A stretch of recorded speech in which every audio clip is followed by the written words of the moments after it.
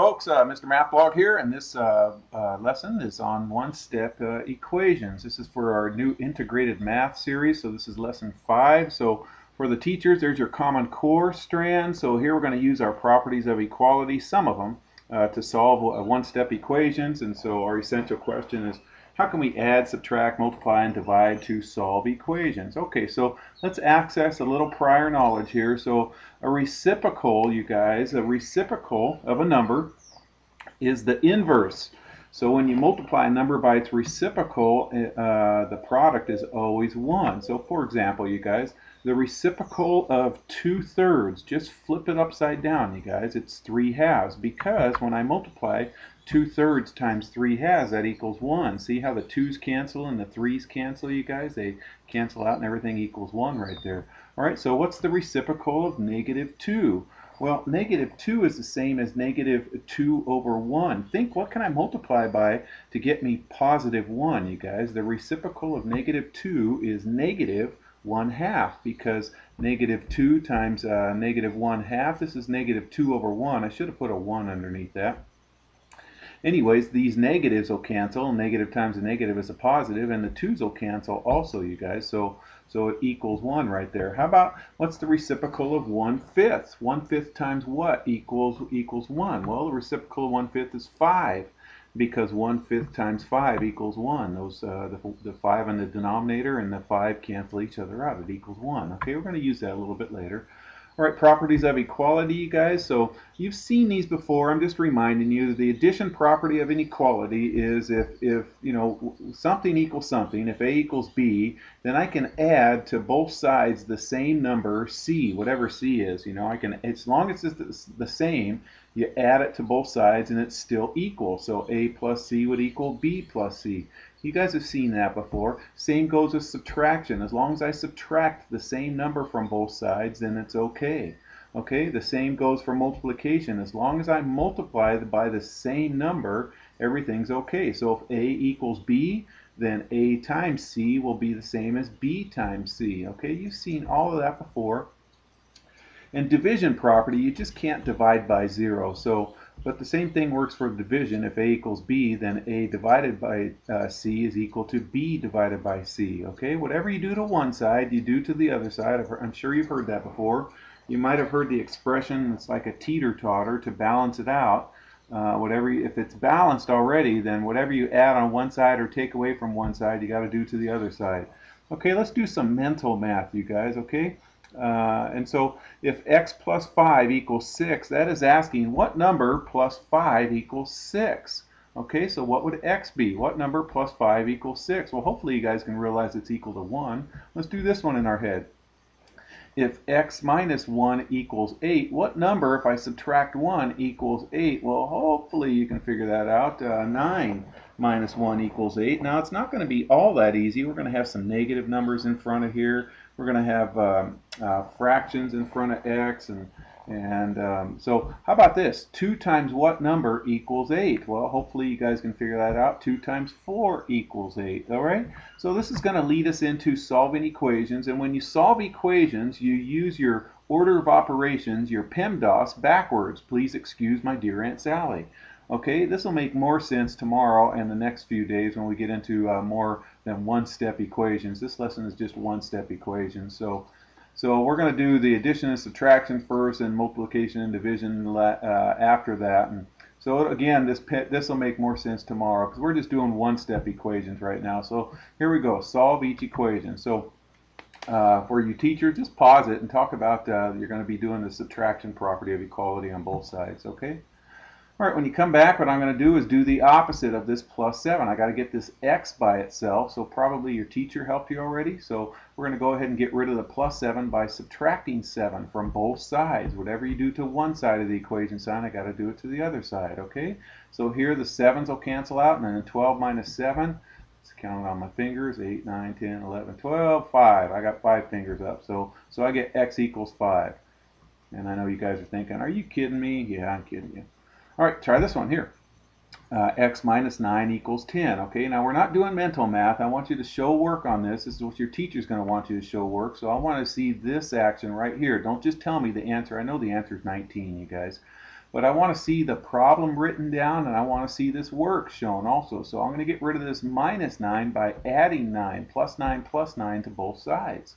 Okay, and so the minus 9 and plus 9 will cancel out, and 10 plus 9 is 19. I know you guys can do that in your head, but you'll see uh, the importance of showing your work as we get more involved, particularly tomorrow's lesson and the next lesson. So showing your work is crucial. So get used to it, you guys. Your teacher will get uh, start requiring you to show all your work. Just writing down answers doesn't work anymore, you guys. So all right, so negative 9 plus x equals 16. I need to get x all by itself. It has this minus 9 right here. So I'm going to go plus 9 underneath this minus 9. That means I got to go plus 9 to the 16 right there. Okay, so there's that. Just added 9 to both sides. Use the addition property of equality. And then the 9's cancel, the negative 9's, and 16 plus 9. 9 plus 16 is, or 9 plus 6 is 15. I carry the 1, and then 1 plus 1 is 2. So I get x equals 25. All right, try this one. Okay, this time the x is over here. So I got to get rid of this minus 7 by going plus 7 plus 7 to both sides. So I'm going to add 7 to both sides right there. Okay, now be careful, guys. Remember, when I'm adding these numbers right here, these integers, remember the couple lessons ago with the number line right here? Negative 20 would be 20 to the left this way, over here at negative 20, and then plus 7 would mean to go back this way 7 units. So where would it take you? Hopefully you guys would just do it's like a subtraction problem but it's going to be it's going to take me to a negative 13 right there. So x equals negative 13 a lot of students still want to say 27 or negative 27 so just be careful. When you're adding integers and they're different signs subtract them and then take the the sign that has the bigger integer with it okay or the the bigger absolute value. Okay ask your teacher about absolute values.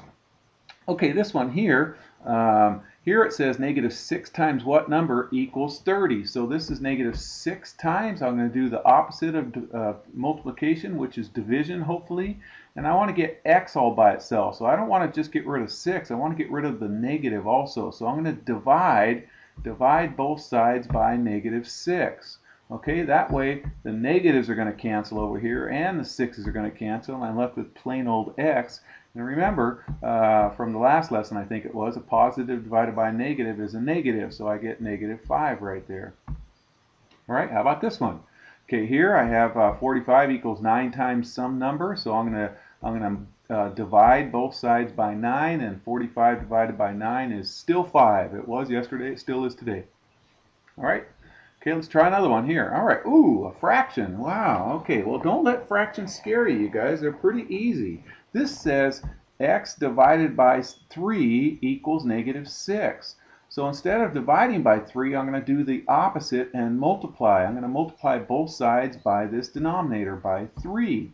Okay, so here, this 3 and this 3 cancel each other out, and then I'm left with just x. Over here, I have a negative times a positive is a negative, and 6 times 3 is 18, so the answer is negative 18. You see how the 3's cancel right there?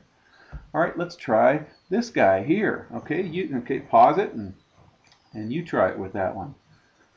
Okay, this one says x over negative 7, so x divided by negative 7 equals negative 3. So again, I'm going to do the opposite of division, which is multiplication. I'm going to multiply both sides by this number right here, negative 7. So I'm going to put negative 7 on both sides right there. Okay, here the negatives will cancel, the 7s will cancel, so I have just plain old x. And over here I have a negative times a negative. Remember that is a positive, so x equals 21. Okay, positive 21.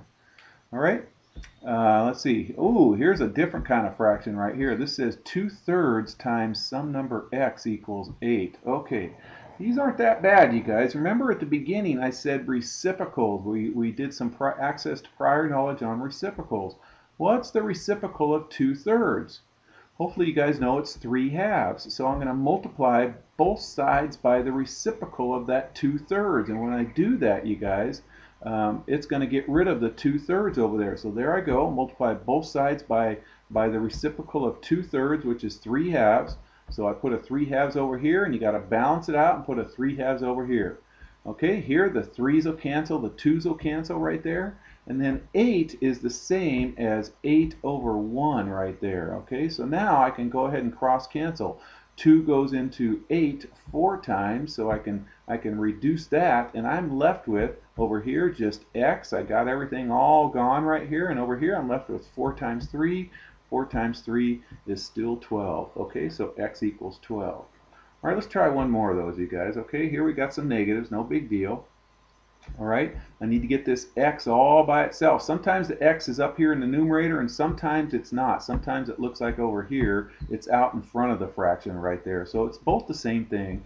This is, I could put this x and slide it right out in front. It doesn't matter. In any case, I want to multiply both sides by the reciprocal of it's not 3 fifths, it's negative 3 fifths. So we're going to multiply both sides by the reciprocal of negative 3 fifths, which is a negative 5 thirds. Because when I multiply these two guys here together, a negative times a negative is a positive. The 5's will cancel, the 3's will cancel. The product of these two guys is 1, and that's what I want over here.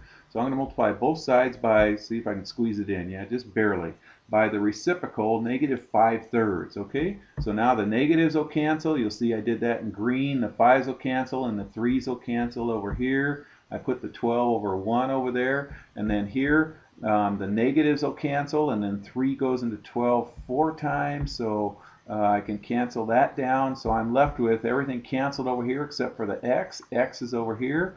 Here the negatives cancel. I'm left with 4 times 5. 4 times 5 is 20, so x equals 20. Okay, guys, I hope that helps. And if it does, then please uh, uh, click like or subscribe if, if you'd like to. And if it doesn't help, then please click dislike. Take care, everybody.